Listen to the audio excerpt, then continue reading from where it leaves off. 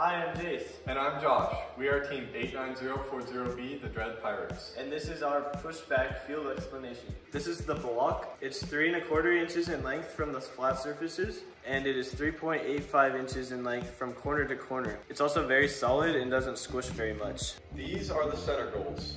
The lower goal is a bit raised off the ground, so it is difficult for the blocks to roll in. But occasionally it does happen. The goals are very strong. They don't really move a lot when you shake them. And watch out. I've already tripped over these multiple times because they're clear and you can't really see them when you're standing up. So this is the long goal. It can hold up to 15 blocks. The blocks slide very easily in this goal, so you can easily knock them all out at once. Also, the control zone is marked with tape.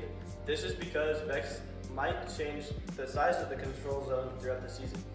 These are the parking zones. The plastic extrusions on the parking zones are raised and have a slant. Our robot from High Stakes does not clear this height.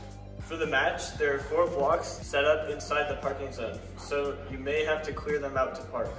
Occasionally, when you drop it in an empty loader, it will bounce out.